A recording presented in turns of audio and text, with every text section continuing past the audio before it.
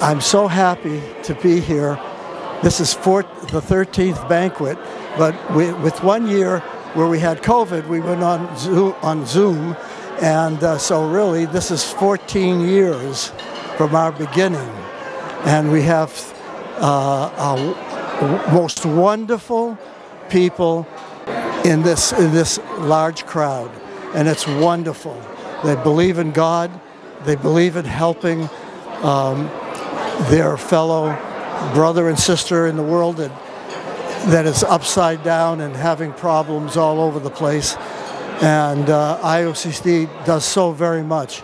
I, I, think back to two times that I, I went out to uh, Kosovo and Montenegro and Serbia and uh, and, and, and what I saw was so much poverty, so much uh, people hurting, especially right after the Balkan War.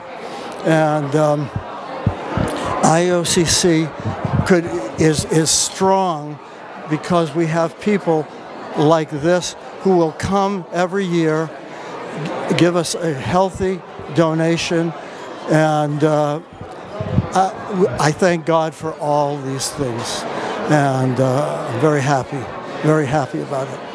We're here at the IOCC Philly event. Uh, we're, I guess the biggest thing is I want to share my gratefulness to the committee, uh, to Charlie and Tula, and of course Tony and Kathy uh, for everything that they've done over the years.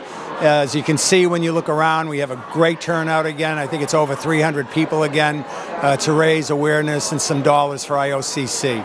Uh, there's a lot of need right now uh, not only internationally, but especially here in the United States uh, after Hurricane Helene and Milton uh, tore through uh, the southeastern part of the United States. And we're going to be talking about that as well. I also have with me today uh, George Antoun, who is one of our senior, he's the director of programs actually, and uh, he has a few words to say about what his role is in getting the job done. You know, it's one thing to collect funds, it's one thing uh, to have the finances, but you need to have experienced people, seasoned people on the ground who can actually get the projects running and done in an efficient way. So, George. Uh, my name is George Antoun. I'm the Director of Programs at IOCC. Very glad to be here tonight to meet with our supporters. Uh, the, this help that supports us and let us do the work that we do overseas and in the US also. So our work is basically to respond to emergencies and help people go over any crisis or uh, uh, they get they get through and then help them and support them to stand back on their feet. And also some of our programs that our teams and the worldwide work on uh, work on help helping people get the support that they need so that they can improve their living conditions and do better things in life. Thank you so we, we, we could just ask, please, please consider helping us out if you are unable to make it tonight. Uh, check us out at iocc.org, O-R-G.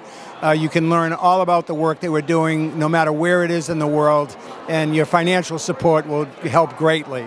Uh, the more support we get, the more work that we can do. Uh, so I want to say thank you and uh, hope to see you soon. Bye bye.